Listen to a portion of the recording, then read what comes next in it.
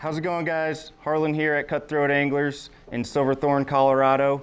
We're gonna be coming at you today um, with some information about midges and how to fish them and all that good stuff. Um, we're gonna be going over how to build a box. Um, you know, we have the Blue River right behind us here, which is a midge heavy river. Um, so we get to, you know, really test these patterns to their fullest, um, see which ones we like. So the patterns we're gonna be showing you are all tried and true patterns that we trust. So this is our standard, you know, midge life cycle box. Um, this is kind of what we would start with when we're building a midge box. Um, first, we can start at the larva stage. Um, that's going to be um, kind of your more common midge stage during the winter time. The patterns we have here, we have Matt McCannel's Demon Midge. That's a great pattern um, for the winter. It is a little flashier, um, a little more sleek, so we like that a lot. We also have the Black Beauty and the Mercury Midge. Um, both Dorsey flies, Pat Dorsey, a great tried and true classic. Um, another just great larva pattern. I tend to use the darker ones, um, you know, on cloudier days, and these gray ones on some sunnier days. So then we move over to the midge, or the zebra midge, the tungsten. Um, that's going to have a lot more weight in it. So, you know, fishing deeper runs, um, trying to get a little deeper in the pockets, that uh, tungsten beaded midge is going to be great for that. Um, all larva stage midges, so a great pattern to have. Poison Tung, um, that's made by Charlie Craven. We love that one. A little bit flashier, sometimes even used as a lead fly with that tungsten bead on it to get it down in the, in the run a little deeper. So, you know, you have your weighted and unweighted midge, midge larvas, um, both essential for, you know, your standard lifestyle midge box. Moving on to emergers, um, we'll start here with Myers tube midge. Um, you'll see the little white tufts on these. Um, that's basically representing a air bubble, air pocket that the midge is using to move on to the adult life cycle. So they're, you know, moving from the deeper parts of the river and that air pocket's gonna help bring those uh, emergers up.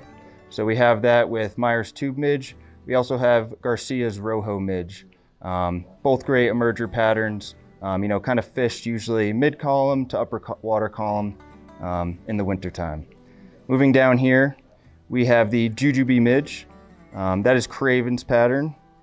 And that's going to be a great emerger as well. A variety of different colors in the Jujubee Midge. Um, great for all different places, um, all different weather you're fishing. Um, so that can be fish, you know, behind a dry fly. That can be fish deep on a nymph rig, but another great emerger pattern from Craven. Moving on up, we are going to adult life cycle. That's gonna be your dry flies. Um, these flies, we have the parachute Morgan's Midge. Great pattern, fish behind, you know, a larger parachute Adams, um, or just a, you know, a little bit larger dry fly makes it a little bit easier to see. Um, that little tail on the back is going to be great to get those fish's attention. We also have the adult midge right here. That is going to be a great pattern. Fish behind um, a dry fly just under the water surface.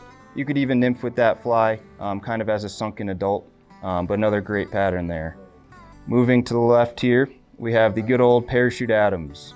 Um, great pattern for a bunch of different variety of insects, but in the winter we're primarily using it for midges. Um, Fish behind even a larger parachute Adam, that's a great pattern. We also have the Griffiths gnat in the normal one, and we also have it in high vis. Um, those patterns are great. It's basically a midge cluster. So basically just giving the, the fish, you know, um, more options. Um, you know, they'd rather eat a cluster of midges than just a single midge. So the Griffiths gnat is a great one on those big midge hatches during the winter. And last but not least, we have the um, Adams midge. Um, another discreet pattern, you know, usually fished behind another dry so it's easier to see, um, but can be fished alone as well. Um, but that's a great pattern for top water and another great adult midge pattern.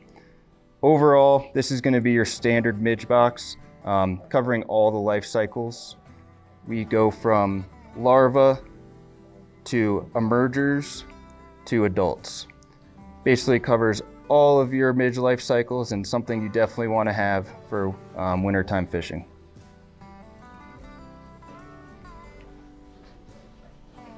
Hopefully this helps you fishing midges in the winter, understanding the midge life cycles. Um, but if you ever need any help, please stop by our shop. Don't be afraid to ask any questions. We're here to help. And uh, we hope you have good days on the water this winter.